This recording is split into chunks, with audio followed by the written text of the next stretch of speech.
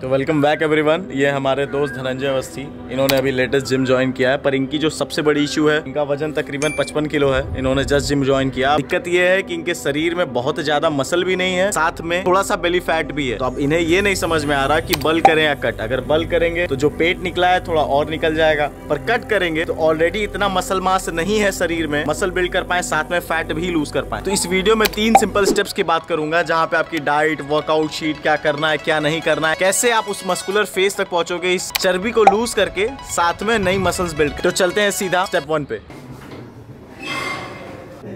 सो अगर आपको skinny to muscular बनना है तो सबसे पहली सीढ़ी होने वाली है आपकी ट्रेनिंग कहते हैं कि भैया डाइट स्टार्ट करूँगा, फिर जिम ज्वाइन करूँगा बट आपको समझना पड़ेगा अगर आप जिम नहीं जा रहे, कोई ट्रेनिंग नहीं कर रहे और अपने शरीर की रिक्वायरमेंट से ज़्यादा खा वो फ़ूड बॉडी सिर्फ़ फ्लश करेगा शरीर में नहीं लगेगा. तो सबसे पहले आप ट्रेनिंग पे ध्यान दें. आप जिम ज्वाइन करें, अगर जिम कर रहे हैं तो अपनी बॉडी को पुश करें. कोई भी टेक्निक यूज़ करें अपनी मसल्स को एक अच्छा वियर एंड टीयर दें. आप चाहे तो वॉल्यूम बढ़ा सकते हैं के बीच की टाइमिंग कम कर सकते हैं नंबर ऑफ़ रेपिटेशन बढ़ा सकते हैं पुश पुल लेग या फिर ग्रो स्पिट कुछ भी यूज़ करो, बस अपनी मसल अनफेवरेबल कंडीशन में लाओ, जहाँ पर उसे दर्द हो और वो टूटे और नई मसल्स बनाए। जब नई मसल बनेगी तो अल्टीमेटली आपका मसल मास बढ़ेगा और आपकी साइज़ बढ़ेगी सिर्फ़ डाइट लेने से नहीं होगा। और उसके साथ ही बात करें डाइट लोग कहते हैं कि भैया, अगर आपको स्किनी टू मस्कुलर बनना है तो आपको अपने टेफशीट में खाना पड़ेगा, थोड़ा बहुत लीन रहेंगे ताकि पेट वाली चर्बी जाए, ऐसा बिल्कुल भी नहीं। शीट क्रिएट करने के लिए सिर्फ़ आपको कम खाना ज़रूरी नहीं है, बहुत सारे ऐसे तरीके हैं, नुस्खे जो साइंस बेस्ड है और आपको मदद करेंगे। आप ज़्यादा भी खाएँ तो भी आप लीन रहोगे मस्कुलर रहोगे। वो अगले स्टेप में बताऊँगा। डाइट कंज्यूम करनी है जो आपके रिक्वायरमेंट से सौ, डेढ़ सौ कैलोरीज ऊपर रहे आपकी शरीर को वो सारा न्यूट्रिशन मिल पाए जो उसे ग्रो करने के लिए चाहिए। रात की आखिरी मील और एक पोस्ट वर्कआउट मील में कार्बोहाइड्रेट ज़रूर है। और अच्छे अमाउंट में मेरे चैनल को ऑलरेडी अठारह सौ, दो हज़ार वेज नॉन वेज सारी हर कैटेगरी की वीडियो पड़ी हुई है। तो अगर आप चाहें तो वहाँ से एक आइडिया ले सकते हैं कि आप क्या खा सकते हैं। कैसे प्रोटीन मील को फॉलो कर सकते तो अब चलते हैं आपके दूसरे सबसे इंपॉर्टेंट स्टेप पे, जो आपको स्किनी से मस्कुलर बनने में सबसे ज़्यादा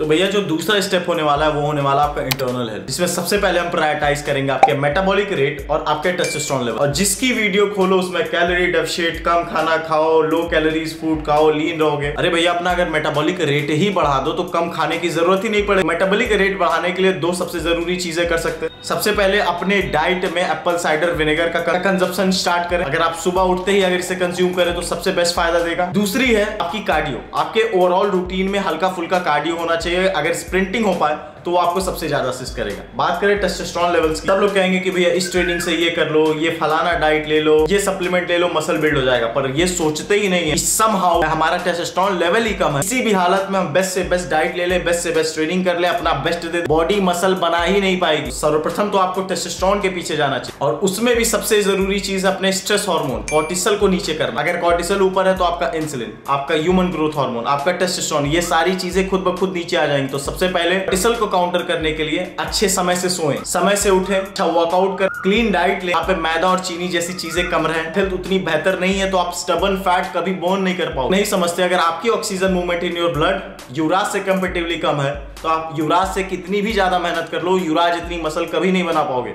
ये नहीं समझते कि आपकी लंग्स की कैपेसिटी अगर हल्की सी कम, आप उस हिसाब से कभी ट्रेनिंग ही नहीं कर पाओगे, भले आपका कितना भी मन हो ताबड़तोड़ ट्रेनिंग करने तो at the end muscle build करके देता। तो आप सप्लीमेंट्स जैसे कि एलार्जिनिन वगैरह यूज़ कर सकते हैं, जो आपके फ्लो को बेहतर करता है, जो आपकी हार्ट हेल्थ की इंप्रूवमेंट करता है। आप वाइटामिन सी जैसी चीज़ें कंज्यूम कर सकते हैं, वो फल, फूल, सब्जियों से खाएँ, या फिर एज अ सप्लीमेंट यूज़ करें, जो आपकी लंग्स की कैपेसिटी बढ़ाता है। एलार्जिनिन सिर्फ़ आपको वेस्कुलरिटी नहीं देता है आपकी हार्ट हेल्थ आपकी मसल बिल्डिंग कैपेसिटी भी बढ़ाता है क्योंकि बहुत ज़रूरी है बॉडी रिकम्पोजिशन के सिनारियों में। आई होप आप बहुत कुछ ऐसे सुनने में मिला होगा जो कंफ्यूज कर रहा हो तो कमेंट बॉक्स में बता देना। मैं कमेंट बॉक्स में आपके डाउट्स क्लियर कर दूँगा। अब चलते हैं सीधा दूसरे इंपॉर्टेंट स्टेप पे, और सबसे इंपॉर्टेंट स्टेप है पेशेंस मेरे बिगनर भाई चाहते कि सारा रिज़ल्ट जल्दी जल्दी मिल जाए। चर्बी भी कम हो जाए मसल भी ज़्यादा आ जाए लीन भी हो जाए बट आपको समझना पड़ेगा, मसल मास कभी आपको छह महीने में पाँच किलो नहीं बनने वाला। कभी भी आपका एक परफेक्ट लाइफ स्टाइल भैया सही समय से सो, सही समय से उठो। क्लीन खाने की आदत, सारी चीज़ें समय लेती। उसके बाद छोटी छोटी गलतियाँ, जैसे कि आप मील में सॉस यूज़ कर रहे हो तो उसका कैलोरीज ऐड करना भूल जाओ। आप कौन से तेल में, किस ब्रांड का खाना खा रहे हो, उसका परफेक्ट न्यूट्रिय कंटेंट आपको पता ही नहीं क्यों? क्योंकि आप एक बिगनर हो। आए दिन मेरे पास क्लाइंट्स आते हैं जो कहते हैं, भैया, मुझे फैट लॉस करना था, मैं एक हज़ार कैलोरीज पे खाना खा रहा था, मैं एकदम केकड़ा हो गया फैट लॉस नहीं है सुसाइड मिशन है रिकम्पोजिशन एक ऐसा प्रोसेस है जहाँ पे मसल बिल्ड करना सबसे बड़ी प्रायोरिटी है। एक बार अगर आप मसल बिल्ड कर लिए तो आप औरों से ज़्यादा कैलोरीज बर्न करोगे सेम एक्सरसाइज को करते हुए।